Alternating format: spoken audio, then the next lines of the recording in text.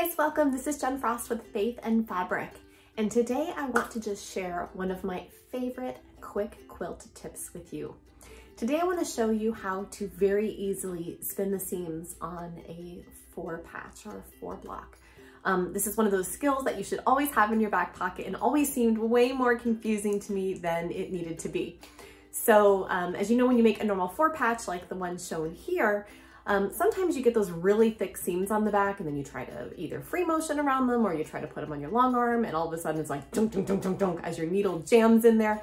So today I'm gonna show you how we can very quickly open up a seam um, and lay it flat and it's going to be so much easier to sew. So here's a real simple tip for you. Let's get started.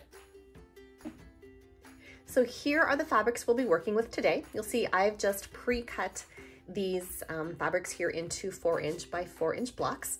Now these are from the Woodcut Blossoms line. Um, if it looks familiar, it's because we've made our pattern over here that you'll see. This is our crosses three ways. And we've also made this pattern, which is our Love One Another. Now you can actually pick up a free copy of Love One Another. I'll put that link below. Um, and there's also a link to that crosses three ways. But you'll see basically these are each four inch by four inch blocks. And when they're gonna come, come together, you're gonna end up with this really thick seam right here because in essence, you're gonna have these seams pinched and these seams pinched and you don't wanna just keep folding them over. So we're gonna spin this seam today.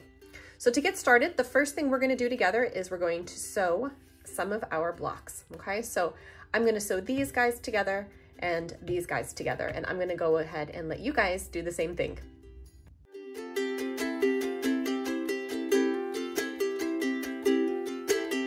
So here's those blocks we just sewed together. Um, the first thing I'm going to do is set my seams. This is a great habit to get into. What that does is it just flattens out all those threads and then we're gonna open up our seams. So I'm going to keep, you'll see here's the little block we originally made. So I'm gonna press my seams to the darker side. Um, that's also going to help with nesting. So you'll see this one's going to go this way and this one's going to go this way. So let's do that together real quick. Press this one, and we will press this one. Same thing, pressing to the darker side.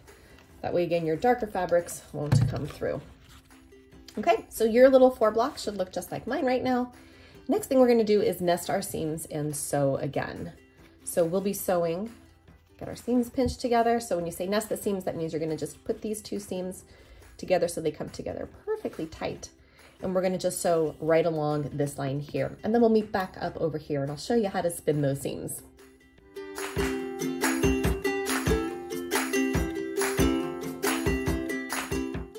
Okay, so here we go. So here's that seam we just put in.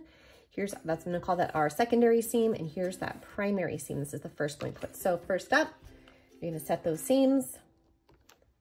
And now what we're gonna do is we're actually gonna open up that primary seam, but just in that little quarter inch space. So you're gonna pick that out, real gentle there. Um, see, that's my blue one here, so I'm gonna remove that thread. Um, and you're gonna go all the way down to where it connects right here. So I can leave that little piece. If you look real close, I can leave that piece um, because it's not impacting anything. Now I went ahead and I already removed the one on this side just because I know that watching me remove seams is not super exciting. But now you'll see what happens is when we open this up, we could now press our seams. There we go.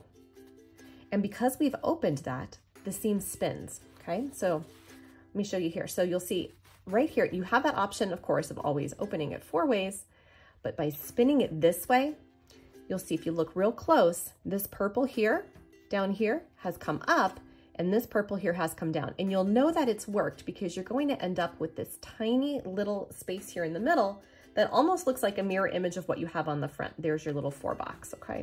So that's a gentle press, not an iron. Put a nice little press here, just to get everything down. And you'll see you've got a perfectly spun seam on the front and that creates that super, super clean point right here, um, right here on the front rather. And so there's there's no overlap because we've nested, we've nested, and we by spinning that seam, it's it's perfectly flat and your needles are not going to get stuck now when you're trying to stitch over that perfectly spun little seam. So thank you guys for joining me today to make our perfectly spun little seam here on the back. Um, I hope this quick quilt tip comes in handy for you guys in the future. I know for me when I'm making four blocks, this is my go-to now because it's so easy, it's so fast, and it always makes the center point lie so nice and flat. So I look forward to seeing you in the next video. I look forward to having you join us as one of our subscribers. Leave me a question and a comment below on what you got out of this or if you spin your seams different. There's so many different techniques out there, you guys, and I always love learning from you just as I hope you enjoy learning from me. We'll see you in the next video. Take care.